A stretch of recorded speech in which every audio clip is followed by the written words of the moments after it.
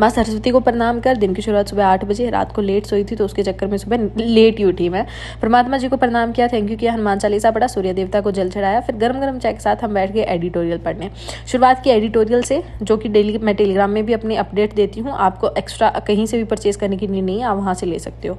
Editorial पढ़ने के बाद में एक इंग्लिश का क्विज लगाया था। इस जस्ट बिकॉज़ मुझे लगता है कि इंग्लिश एक बहुत क्रूशियल और बेसिक पार्ट है। अगर आप बैंकिंग एग्ज़ाम्स को टारगेट कर रहे हो और आपको I B P S S B I जैसे एग्ज़ाम्स क्लियर करनी है आर बी आई आर को एक्सेप्शन रख लेते हैं, क्योंकि आर आर में हिंदी आपके लिए एज अ ऑप्शन अवेलेबल रहती है। ओके फिर हमने दो दिन की करंट फेयर रिवाइज की थी टारगेट तीन दिन का रहता है, लेकिन जितनी अच्छे से हो सकती है उतनी ही ठीक है। दो दिन की मुझे थोड़ी सी आज हेक्टिक लग रही थी तो मैंने दो ही दिन की कर पाई और मैं लेट भी उठी थी तो उसका थोड़ा सा साइड इफ़ेक्ट साइड इफ़ेक्ट भी दिख रहा था ये।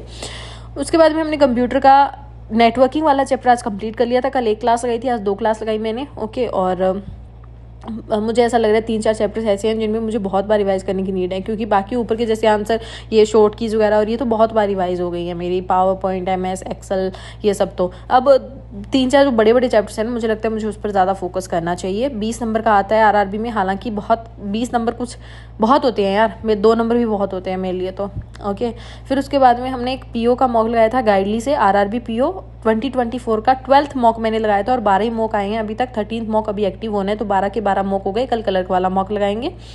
उसके बाद में मैंने एक R R B P O mains का मॉक ओपन किया, सिर्फ़ मैथ सेक्शन उसमें अटैम्प्ट किया था और रीजनिंग अटैम्प्ट किया था और कुछ भी अटैम्प्ट नहीं किया okay so this is all about the day आप भी अपना डे शेयर करें ओके okay? और फिर हम चले गए gym he is my brother and thank you tata take